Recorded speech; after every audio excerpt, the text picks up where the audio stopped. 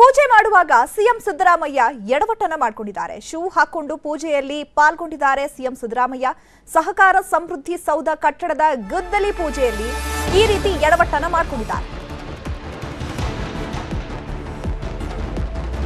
ಸಹಕಾರಿ ಸಚಿವ Rajanna H K Patil ಕೂಡ ಎಡವಟ್ಟನ್ನ ಮಾಡಿಕೊಂಡಿದ್ದಾರೆ. ಶೂ ಹಾಕೊಂಡು ಪೂಜೆ ಮಾಡಿದ್ದಾರೆ ಸಚಿವರು. ಬೆಂಗಳೂರಿನ ವಸಂತ ನಗರದಲ್ಲಿ ಪೂಜೆ ಕಾರ್ಯಕ್ರಮದಲ್ಲಿ ನಡೆದಂತಹ ಘಟನೆ. ಪೂಜೆ ಮಾಡುವಾಗ ಸಿಎಂ ಸಿದ್ದರಾಮಯ್ಯ ಎಡವಟ್ಟು ಮಾಡಿಕೊಂಡಿದ್ದಾರೆ. ಕಾಲಿಗೆ ಶೂ ಅನ್ನ ಹಾಕೊಂಡು ಪೂಜೆಯಲ್ಲಿ ಪಾಲ್ಗೊಂಡಿದ್ದಾರೆ ಸಿಎಂ ಸಿದ್ದರಾಮಯ್ಯ. ಅವರ ಜೊತೆಗೆ ಸಹಕಾರಿ ಸಚಿವ ರಾಜಣ್ಣ ಎಚ್ ಕೆ ಪಾಟೀಲ್ ಕೂಡ ಎಡವಟ್ಟನ್ನ ಮಾಡಿಕೊಂಡಿದ್ದಾರೆ. ಶೂ ಹಾಕೊಂಡು ಪೂಜೆ ಮಾಡಿದ್ದಾರೆ ಸಚಿವರು.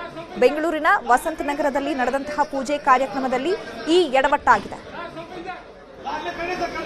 ಎಸ್ ಈ ಬಗ್ಗೆ ಮತ್ತಷ್ಟು ಮಾಹಿತಿಯನ್ನು ಕೊಡ್ತಾರೆ ನಮ್ಮ ಪ್ರತಿನಿಧಿ ಶಿವಪ್ರಸಾದ್. ನೇರ ಸಂಪರ್ಕದಲ್ಲಿ ಜಾಯ್ನ್ ಆಗ್ತಾ ಇದ್ದಾರೆ. ಶಿವಪ್ರಸಾದ್, ಸಿದ್ದರಾಮಯ್ಯ ಅವರು ಒಂದಲ್ಲ ಒಂದು ವಿಷಯಕ್ಕೆ ಸುದ್ದಿ ಆಗ್ತಾನೆ ಇರ್ತಾರೆ. ಈಗ ಮತ್ತೊಮ್ಮೆ ಕಾಲಿಗೆ ಶೂ ಹಾಕೊಂಡು ಪೂಜೆ ಮಾಡೋ ಮೂಲಕ ಈಗ ಸುದ್ದಿ ಆಗಿದ್ದಾರೆ ಹಾಗಾದ್ರೆ ಇದು ಅಲ್ಲಿ ಶೂ ಹಾಕೊಳ್ಬಾರ್ದು ಅನ್ನುವಂತಹ ಸಾಮಾನ್ಯ ಜ್ಞಾನ ಕೂಡ ಅಲ್ಲಿನ ಅಧಿಕಾರಿಗಳಿಗೆ ಇಲ್ಲವಾ? ಗೊತ್ತಿದ್ದು ಮಾಡುವಂತಹ ತಪ್ಪ ಅಥವಾ ಗೊತ್ತಿಲ್ಲದೆ ಆಗುವಂತಹ ತಪ್ಪುಗಳ ಅಂತ?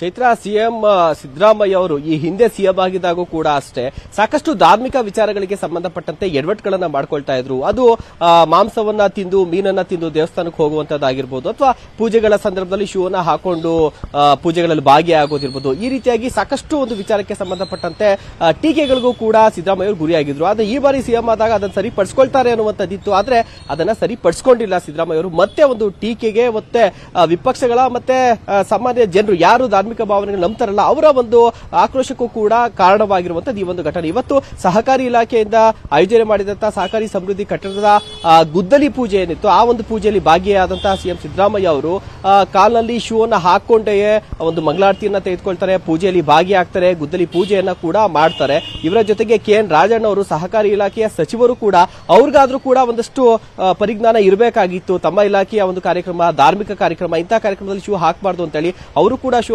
ಬಿಚ್ಚೋದಿಲ್ಲ ಸಿದ್ದರಾಮಯ್ಯ ಕೂಡ ಶೋಭಿಸೋದಿಲ್ಲ ಬಿಚ್ಚೋದಿಲ್ಲ ಜೊತೆಗಿದ್ದಂತಹ ಹಿರಿಯ ಸಚಿವರಾದಂಥ ಎಚ್ ಕೆ ಪಾಟೀಲ್ ಅವರು ಕೂಡ ಸ್ಲಿಪ್ಪರ್ ಅನ್ನ ಕೂಡ ಬಿಚ್ಚೋದಿಲ್ಲ. ಹಾಗೆ ಭೋಜಿಯಲ್ಲಿ ಭಾಗಿಯಾಗ್ತಾರೆ. ಆದ್ರೆ ಜಮೀರ್ ಅಹಮದ್ ಖಾನ್ ಸಚಿವರಾದ ಜಮೀರ್ ಅಹಮದ್ ಖಾನ್, ಶಿವಾನಂದ ಪಾಟೀಲ್ ಅವರು ಮಾತ್ರ ತಾವು ಹಾಕೋದಂತ ಶೂ ಮತ್ತು ಚಪ್ಪಲಿಗಳನ್ನ ಬಿಟ್ಟು ಪೂಜೆಯಲ್ಲಿ ಭಾಗಿಯಾಗ್ತಾರೆ. ಮಂಗಳಾರತಿಯನ್ನ ಕೂಡ ತೆಗೆದುಕೊಳ್ತಾರೆ.